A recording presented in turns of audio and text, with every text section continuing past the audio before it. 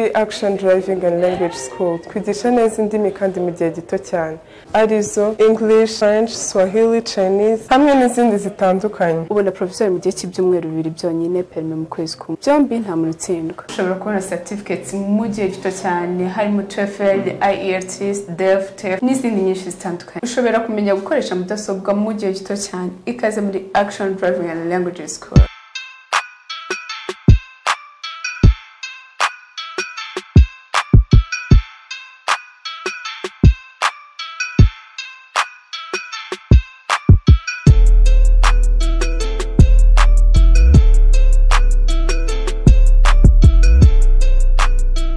Wakintu yewe we fayinari igiko kirabaye waruntu kitabasa. Mbega intsingizi yari wakinwe noneho? Wakintu none urabizi uyu munsi ndazonkumva ko bavuga. Turakanyenyera vuta uti kunyoko mpandi ina uda mva wakino rero. Utuye hasi fayinari na natura hasi se natura hasi. We niwanuranye mail hasi? Ahubwo nta kuntu twajya duturana hasi wakino? Njye nigeze guturana hasi ni ridemu ryawe. Ntari imana ibyo bintu tubikwame nyine tubikwame tubishyire ikipembeni maniga yanjye urumva rero gahunda zihari ni izihe? Si eshatu. Ni eshatu. Oromide ya mbere ni iyihe? Ni ni ugucyura icyana. Iya kabiri ni iyihe? Ni icyana. Iya gatatu ni iyihe? Nayo ni ugucyura icyana. Si gahunda zose zibaye icyana? Si wanyumvishe uretse kubyiturura mu gikwe tubanza dushitura icyana. Ubundi ibindi byose. dore ngo turakanyenyera vutu umva rero tumanze mbabwire. Utaza kuzana umuntu bya bindi byanyu by'i- by'i- by'imihogo iba imeze mani nk'amatiyo. Ni ukukanyenyera gake gake wacunga iki- ikiniga kirebye ku ruhande. Wakayongobiza. Turiya maniga mwaniga yanjye. Twagiye. Uri mu kirere shaka kubyigana n'ibinyoni mu kirere. Uri mu kirere shaka kubyigana n'ibinyoni mu kirere. Sima n'urugamba ugomba muntu ushaka kuba mu kibanda sima n'urugamba ugomba muntu ushaka kuba mu kibanda uri mu kirere shaka kubyigana n'ibinyoni mu kirere. Uri mu kirere shaka kubyigana n'ibinyoni mu kirere. Sima n'urugamba ugomba muntu ushaka kuba mu kibanda sima n'urugamba ugomba muntu ushaka kuba yesu nashimwe. He wana byatari kabisa. Ye nawe ubuhennye mu gikwera atasuko basubiza. Tunisha se kintu. Bahita basubiza bate ye iyo bavuze ngo yesu nashimwe barasubiza ngo mwisi no mu ijuru wakintu nawe wabyishe si byo ariko kadagira inzanyo kabiri abanyamugi wallahi ubwo urumva ibintu ngewe ntazi wowe waba warabikuye hehe tujye turi kamani kabiri zanyu wakintu uri kuza upfunyikira abantu ngo iki n'iki uri kunkosora nawe ibintu utazi wareka nkitambukira ko mbona ugize ikinyabiziga hano mu nzira nkigira mu gikwe nk'abandi. Ubu nahoma umuntu ngo shitani ngo yateye abantu. Ubu si uko bakubita za kadage. Wowe urifata ukaza kuvumba mu bukwe bw'abantu warangiza ugashaka no guhatanga amategeko. Ikigaragara mani iyi kadage irimo iraza no kuvumba ku niga itanazi wowe urifata ukabwira kingi mwana ngo va mu nzira niga yanjye cyangwa mutaza no gushwana natambuka umureke. Bose munyihanganire rwose ntabwo nari ngamije kubabangamira oya mwana iyi mvetse ibishaka kutugaragariza ko turi za kadage mwana? Invitasiyo yawe iri hehe ndayifite. Iri he nyine? Mu mufuka. Yinyereka nyine? Yinyereka uvuye mu kigambo mwana. Urimo urazana ibintu by'iki n'iki byo kwivugishwa. Umuntu batumiye yarwanira kwinjira mwana ibyo bintu numva bibaho. Wowe usa nk'umuntu batumira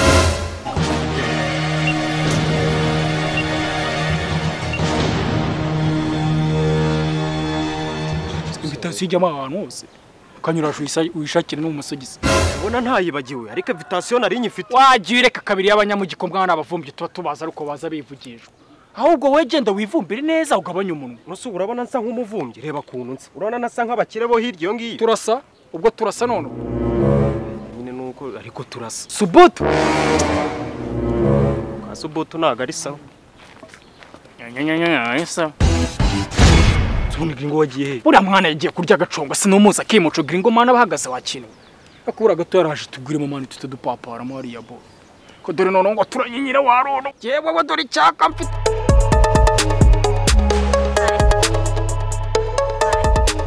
Rero kujya mutworohereza akazi mwatambuka mukajya mu byicaro babageneye tukakira n'abandi.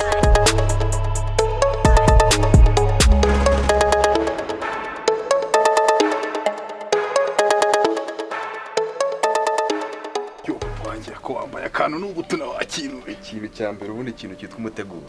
Mba ndi nawe. Ako nawe ahantu wambariye. N'ugusubira wakintu shareba ariko kibanza unamere neza hano dore ndabona. Unamuona musekara budisi Oh, unamuona mwenyewe man. Yo man.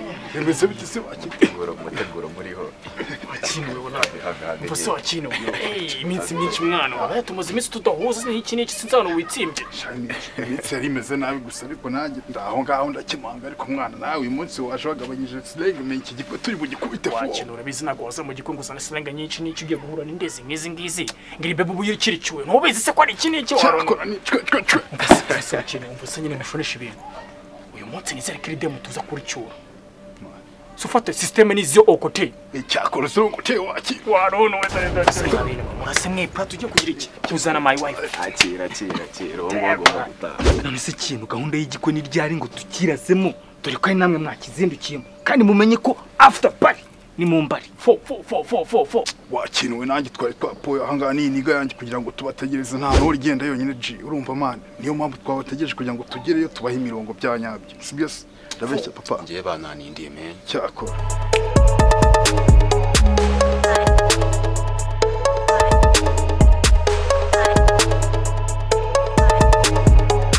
cyakoze ntabwo nari nzi ko uno munsi wagera umukobwa wawe agashyingirwa. Si wowe gusa umukobwa wanjye numvaga kwigumira mu rugo njye ntansige humura azajya agaruka gusura. None se ko ashatse hari ubwo agiye muri gereza? Ahubwo wowe akaba ushimira imana kuba agiye atarabyarira mu rugo ngo ngo urere umwana na nyina. Yakoze ndashima imana kuba umukobwa wanjye atarabyariye mu rugo. Kuko abakobwa b'iki gihe iyo batabyariye mu rugo sha ugomba gushima imana no kuri mba nkoroga. Umukobwa wanjye rero agomba kubona ishimwe kuko yitwaye neza. Aba ari intwari byo rero. Uzi ko kuri uyu musozi wacu wose dutuye ari wenyine ushingiye abandi bose bose utarabyaye yarishingiye abandi bose ntuzi n'ukuntu byanagenze. Ariko n'ubundi amahirwe wagize ntabwo yazi nk'uko nyine wagize inshuti zimeze nkatwe tukanagufasha no ku- no kurera. Ngo umfasha kumurera hari irindazi ryawazi cyangwa kigozi wigeze umugurira. Hari amakaye wamuguriye hari minerivare umwishyuriye niki cyawazi mumbese uraza ngo ngo mu- ngo mumfasha wowe. Erega tuba twiganirira mubyeyi. Nta mpamvu yo kuzanamo ibintu by'imishinya rwose wiganirira wowe wiganira ku mukobwa wanjye. Waje ahangaha ari uko nkwishyuye. Kora ibyo ukora vuba ubundi mbona urenga. Ikindi kandi ndaramuka mbonye utushijwe cyangwa se n'utwo uzana ku- ureba ku bintu byo kunywa cyangwa kurya ndahita nyakata kuko ndi buguhembe ariko se nk'ubwo murashobora mupfa ikigogo? Aha polisi none ni mu bukwe uzi ko abakwe bahageze? Ibyo birabareba. Ikindi ntimuze gutinza ubukwe mu byihutisha. Aha nakumvise da. Ndabikora nk'uko ubimbwiye ariko wamfashe ukuntu rwose. Ukuri ni ukwe ngo nkumenye. Kuri kuvuga ngo simbakunda ngo genzwe n'utuntu twinshi. Si ibyo se ntugenzwa na duke ahubwo ugenzwa na twinshi. Reka tubireke. Ariko ubushize wibuke ko wansigayemo bitanu. Ariko nta kibazo turayeraho uyu munsi nyine arashyira kuri ribuze ku nimva bimwe nakubwiraga umuhamba ntagenzwa na kamwe. Turashize none ibaze baje bumva utukana gutyo ubwo bakumva ko umukobwa wawe wamuhaye ubuhe burere? Maze ngo ututse gake uzi madamu wanjye none urajyamo amabereye. Mumbese ndumva waragize imana. Ubwo atera yagutekera ngo ubundi yakugaburira ariko si warera umufura mutu natumije kuva karari he? Niko mwandege cya kivura mutu ngo nemusiki he? karame databuja abakwe baje? Baje bamaze igihe kinini bahagaze hariya. Babwira binjye dutangire urakoze umva rero nawe. Ntuze kurondogora. Ariko se mwana wa mama kubona uyu munsi wawe mvuze ngo iki? Twasabaga abageni bacu cyangwa abakwe bacu baze dutangire ibirori byacu.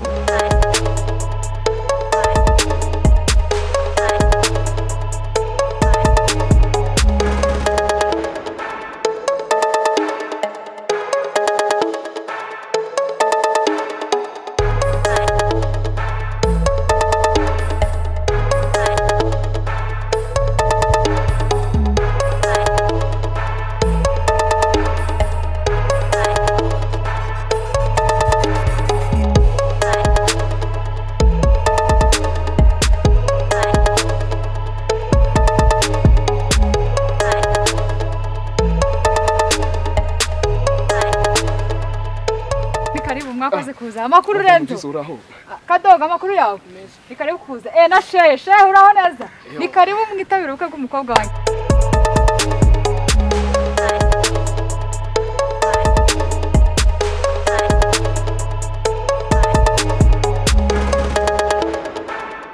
Eh, abageni twari dutegereje barahageze eh, ndetse n'abashyitsi n'abasangwa nabo barahari. Eh, mureke dushime imana gihanga ngoma ijana. Mureke dusenge.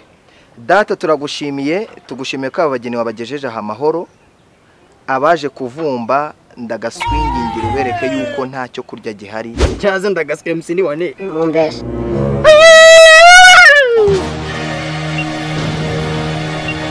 izina rya yesu amen.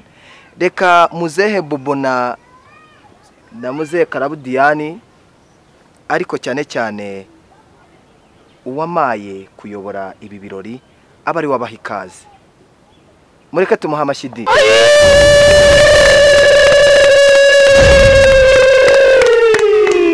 Eh, muzehe rero wamaye kwakira abo tungana abo tutangana wambwiye ko uzajya ubakira ni wowe ugomba kubakira mu byubero byanyu.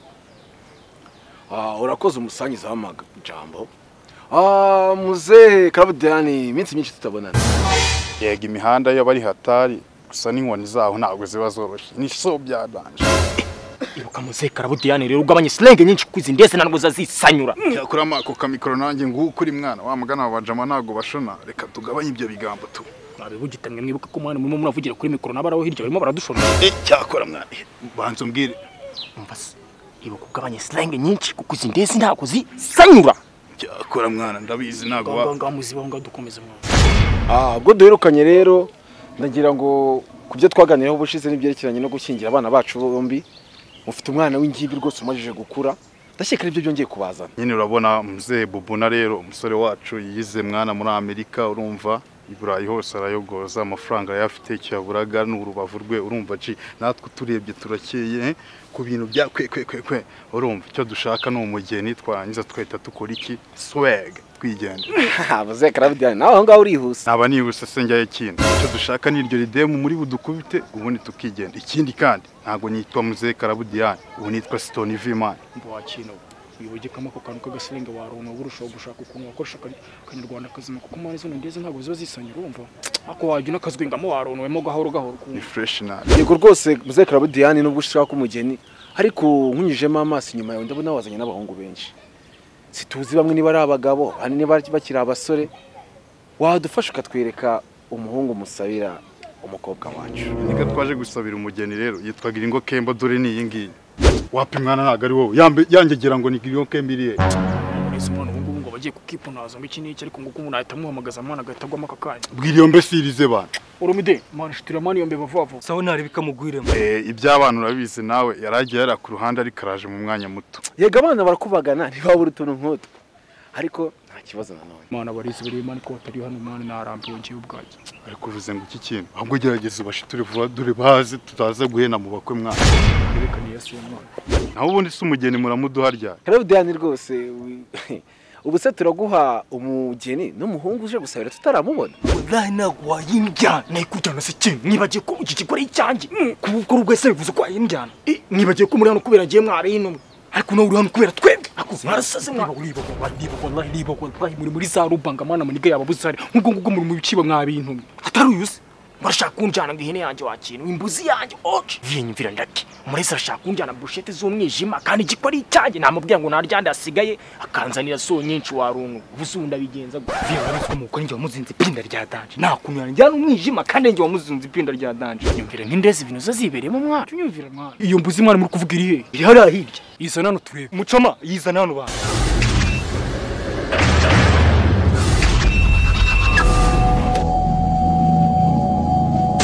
none se ko muyijyanye kandi nari ngiye kuyibaga? Wallahi reba yambuze nda reba wallahi reba bimwe nakubwiraga reba nk'uyu mwijima ubu kuko nawuhereza kandi wizwe nanjye watanze umwijima ndawurya wallahi vi umwijima ndawurya ako nyumva nk'ibintu ubusa ntagiye wihanga ndawurya umwijima mutuze mutuze mwana mutuze mutuze mutirwa mupfa ibintu byose mwana imbuzi ni nawo je waronwe eh mwana usiko umwijima urimo urateranywa nawumva wakintu Numbese. Eh wallahi akuri mwana gutya ntabwo ari ibintu byo gupfa mwana nk'ubu ngubu umwe muri mwebwe yakabaye arya umwijima undi akarya nk'asigaye sibyo nise sibyo ndi kumubwira waretse akarya umwijima mwana Finda ry'umwijima kuko igikuri ni icyanjye reka nkwereke mwana reka uyu nguyu rero arya umwijima kuko ari narwo rupete mwana we wenda wowe wirire nka ririya cebe wakinuwe kandi uriye icebe waba uriye intungamubiri ebyiri icyarimwe ukaba uriye inyama unariye amashereka warunuye amashushu wallahi ndeke ndimo ndanywa amashushu ku munsi w'igiko cyanjye dose ubwo nazabwira ngo icyo umupeti wanjye wakinuwe noneho ndebera mwana ndibirebera kanana ufite wakinuwe uzi none uriya nkura munwa w'ihene uzi ububizo wajya utanga wakinuwe ni bwa mbucumbuco wawe tunagenda tuve muri ibi biti mva wakinuwe rati sibyo? Mwana ngewe noneho nkuno munigo ubu umutegushirije mani ririya cebe warunuwe ndani. Eh, reka nze mbimukorere fasita fasita Ah, ah, tugeze rero mu kanya ko kwiyakira ndetse ko kwakira abasangwa eh, ndetse n'abashyitsi bacu. Ariko tukiri muri ako kanya eh, abasangwa badufitiye korali yitwa abahemuro. Oh, bagiye kuririmbira abageni bacu kugira ngo ibirori byacu bikomeze kugenda neza. Reka twakire iyo korali ndetse dukomeza no gutanga impano mwokagira inka n'amafaranga.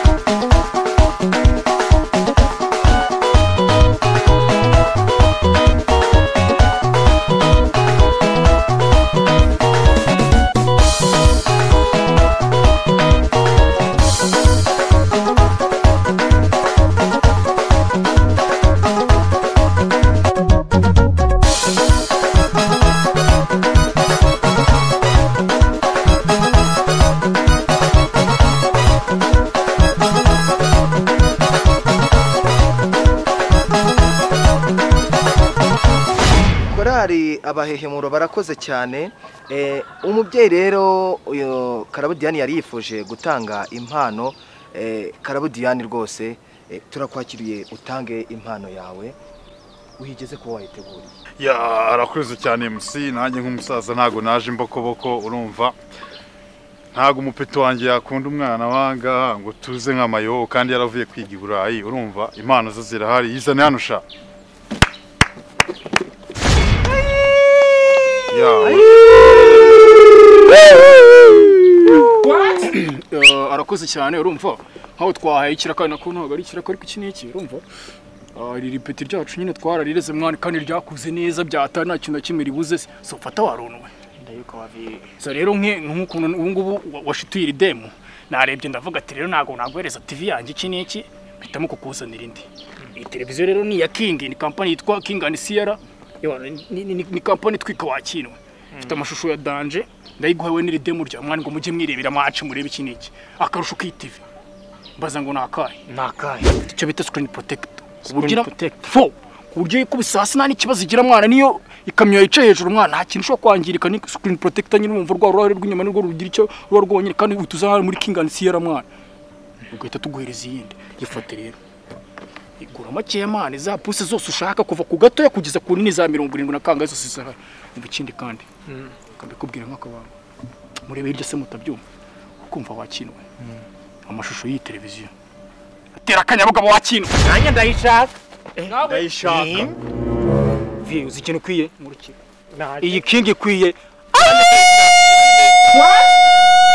Eh, arakoze muzehe karabudiyani gutanga impano yiwe ariko eh, aba bageni ngo bafite korali yitwa abadishi bifuje kubaririmbira. Reka rero nabo tubakire kugira ngo twumve iyi ndirimbo yabo. Tubahaye ikaze mwuka byaramwe mwokagira inka n'amafaranga mwe. Eh, mu- mususurutse iyi miryango yombi ubundi twirire sho araturumbiye!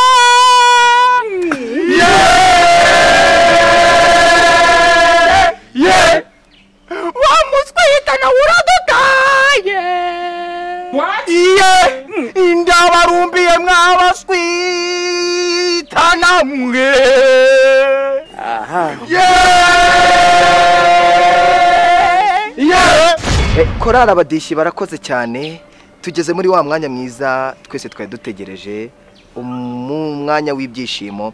Eh, turagira ngo dusabe abikambere batuzanire uwo mugeni ndetse tumushyikirize urubavu rwe di. Nuko agisohoka twese reka rero turebe twese twerekeze amaso hariya turebe ukuntu atambuka neza. Mbega umukobwa. Eh, reka asohoke rwose. Eh, umugeni agisohoka rwose reka abadafite ishyari mukoma amashyi. Tumwifuriza rwose kuzabyara ahungu na kobwa cyangwa se nimba hari n'undi mwana bazamubyare. Pfa ko bazaza mu rwanda. Pfa ko bazaza akareba ibyana byiza biri muri kigali. Nyamirambo gisozi na gikondo. Azaryemo kimwe. Uyu mugeni niba muzane di reka dusabe umugeni aze arebe nimba umukobwa ari uwe eh, ubundi dukomeze ikirori.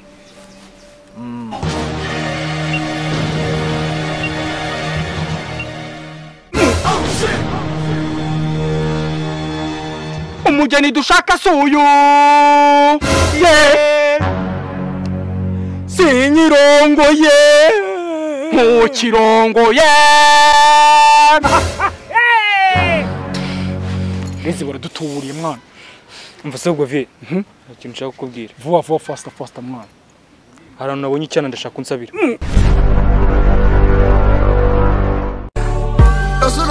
ntabwo mbizi nimvuga iCast wumva uburyo bwiza bw'ikoranabuhanga wahuza televiziyo yawe na telefone cyangwa mudasobwa yawe maze ukareba filime indirimbo amafoto ndetse ukareba na YouTube. Bitagusabye interinete ihambaye. Noneho kuri ba bandi mutegura inama iCast ibafashamo mutiriwe mwitwaza umurundo w'amadokima cyangwa za porojegiteri iri koranabuhanga ryose wumva rihambaye kandi rigezweho. Urarisanga muri televiziyo za kingi King TV imbaraga z'amashusho.